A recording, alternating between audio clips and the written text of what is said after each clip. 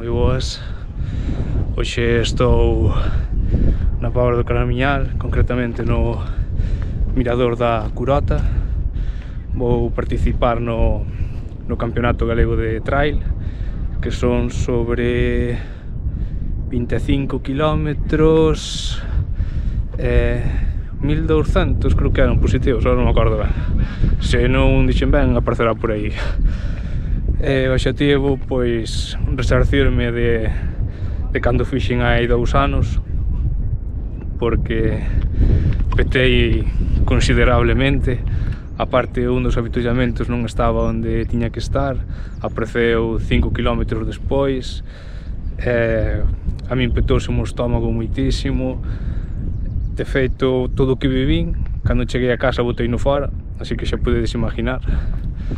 E bueno, será eso? Non teño as pernas moi ben xa que antes fun correr tamén.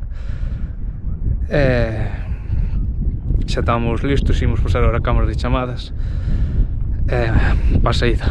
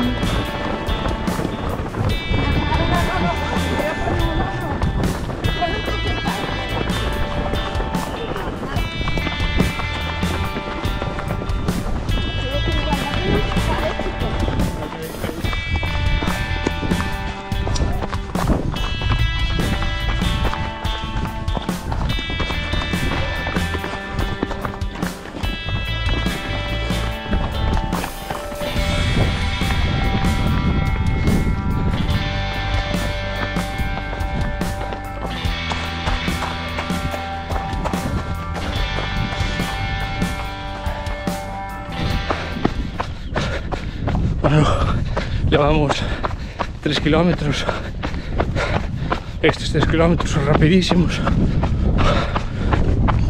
Quitando ya o principio que vi que es por pedras O demás moi rápido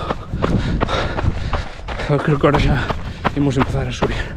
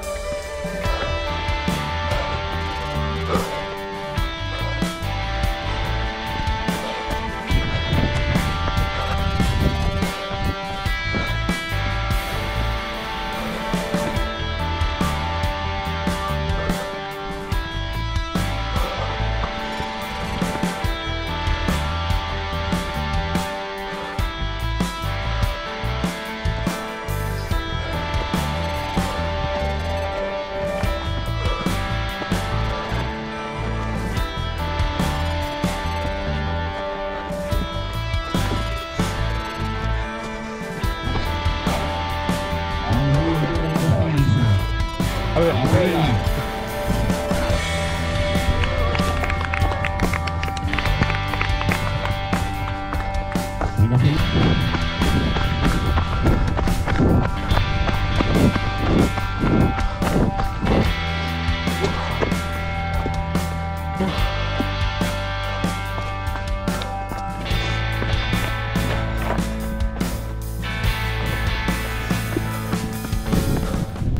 Madriña que baixadinha polas pedras esas. Uf, xa me levo pés e tubillos que non sento. Kilómetro 8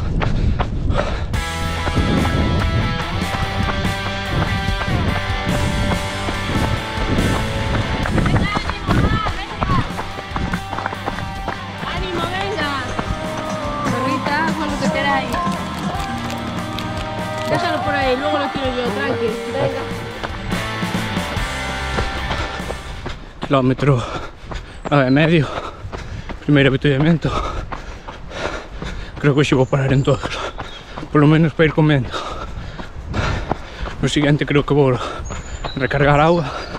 E depois xa veremos no último. Ah. Está se facendo duro isto eh?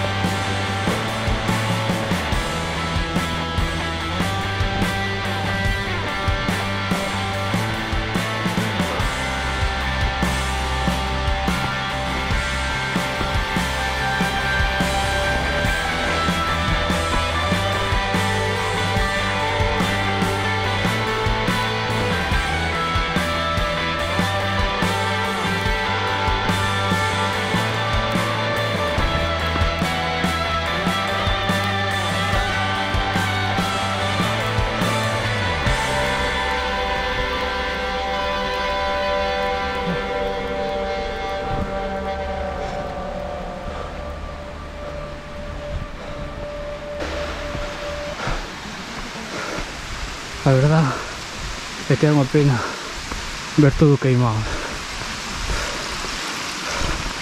Isto foi ardeu o ano pasado. Este ano xa empezaron a queimar por aí. Por moi sin vergüenza.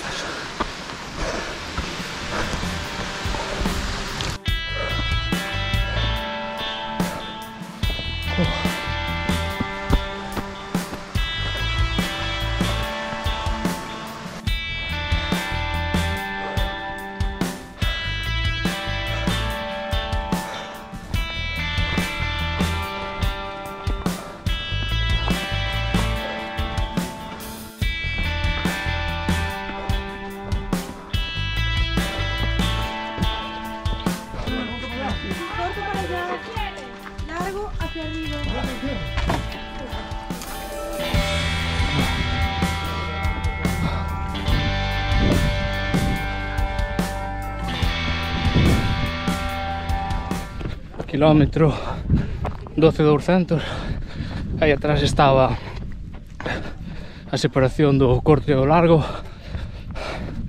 máis o avituallamiento Ahora sí, un poquito de fruta, agua fresca e seguimos, creo que ainda temos que subir un pouco máis. E despois espero que xa se xa baixar esta meta. Ainda faltan outro tanto, non sei eu.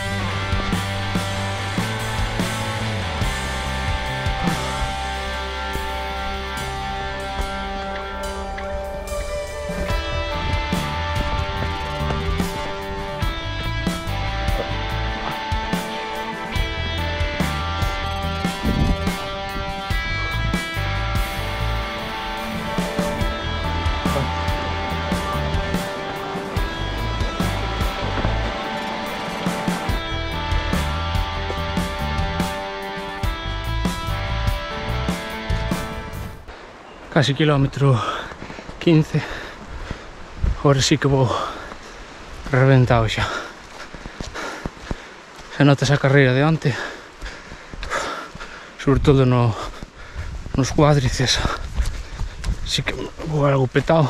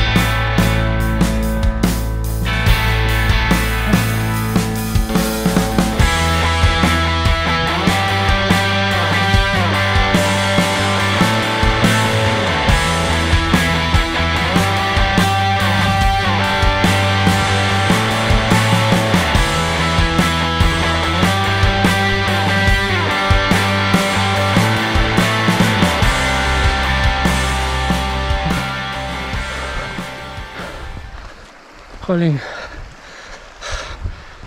Qué ganas de tirarme no sofá. Uf. É o que queda. Kilómetro 19 e medio.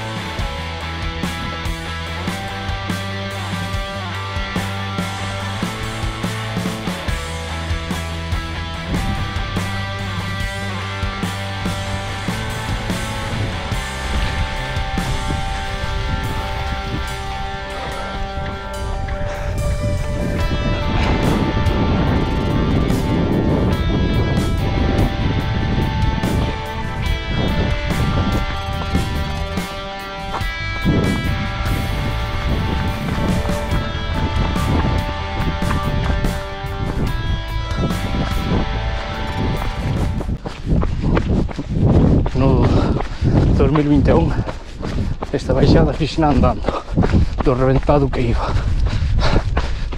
Agora pouco me falta pero ainda se dá corrido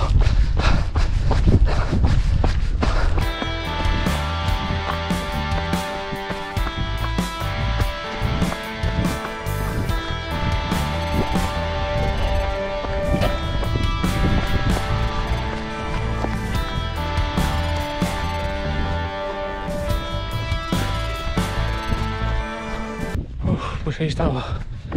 O terceiro avituallamento kilómetro 23.300 non sei se é moi útil aí a falta de 2 km para meta. Pero bueno.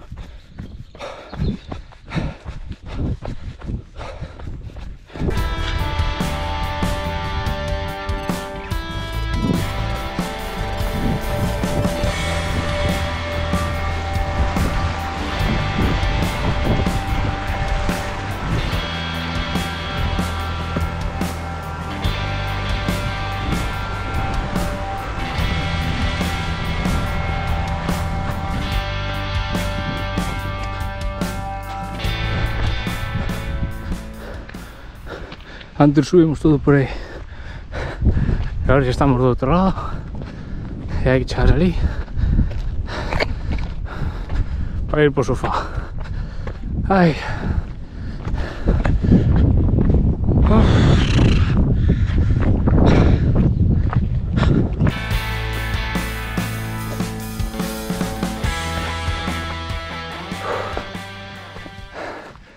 casi kilómetro 25 e seguimos subindo. Jolín. De verdade, cero de pernas.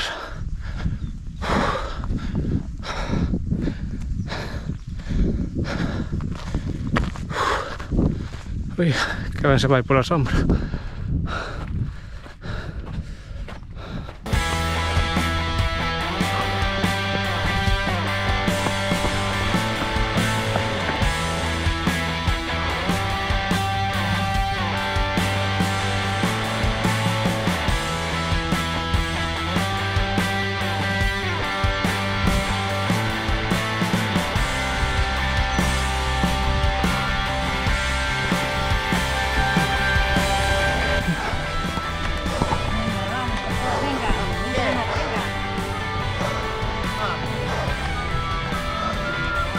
Y ahí tenemos cruzando a línea de meta Santi López. Detrás de Miguel Iglesias.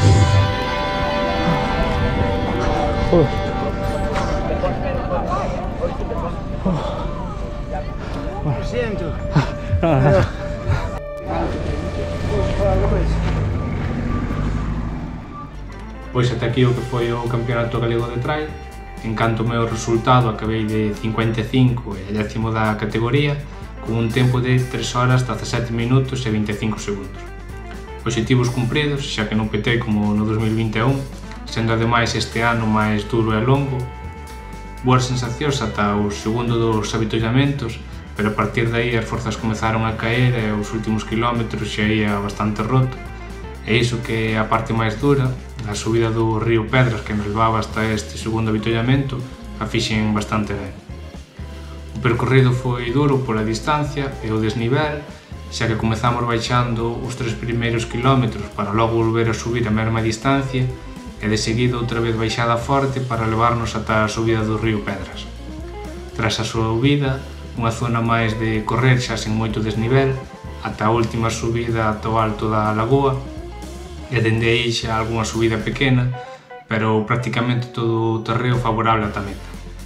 A distancia polo reloxo foi de 26,2 km.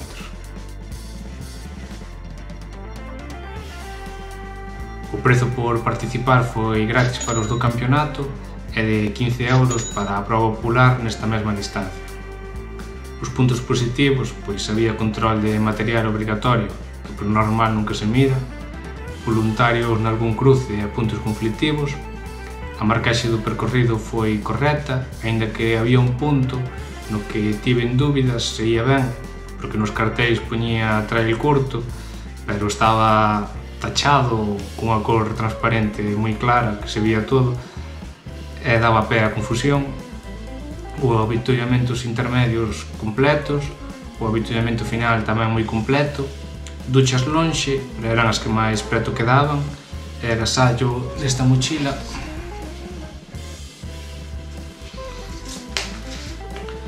Os puntos a mellorar, pois podían avisar no regulamento que ia facer falta o DNI para recoller o dorsal, xa que moitos dos corredores tiveron que volver ata o coche para poder recollelo, igual cambiar o lugar da saída, xa que desde o primeiro tramo, este primeiro tramo de asfalto quédase curto para estirar o grupo antes de entrar na primeira zona de montaña, porque había que ir saltando de pedra en pedra, había corredores por todos lados intentando adiantar.